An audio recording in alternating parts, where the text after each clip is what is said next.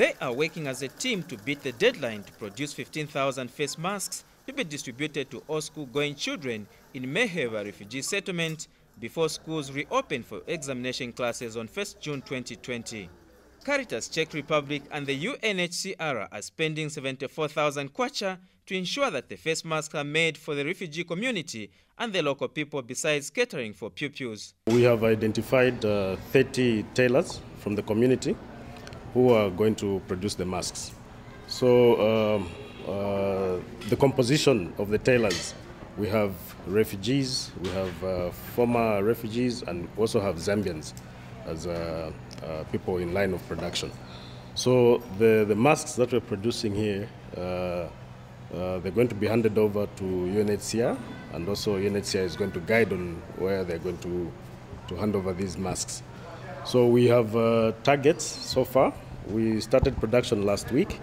So our targets is that uh, by June 1st, we're supposed to hand over 3,298 masks to opening schools within the community. So that is the target that we have. Then we'll hand over the rest of the masks uh, over time. The task to make face masks has given an opportunity for persons of concern to earn an income in the settlement where money is hard to come by, especially during this period of the pandemic. Ni magumu kwa kupata chakula pamoja na kuchunga watoto.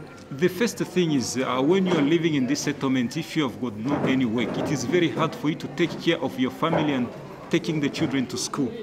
The only advantage is once you have been given that money, at least that money, we are able to support our families with that money. Both the school managers, parents, and pupils are excited at the news to reopen schools for examination classes. We are ready, if I would say, maybe very much ready.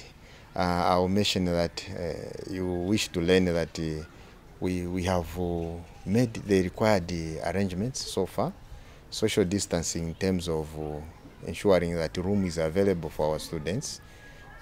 we have 15 classrooms to cater for our grade 7 and 9 students.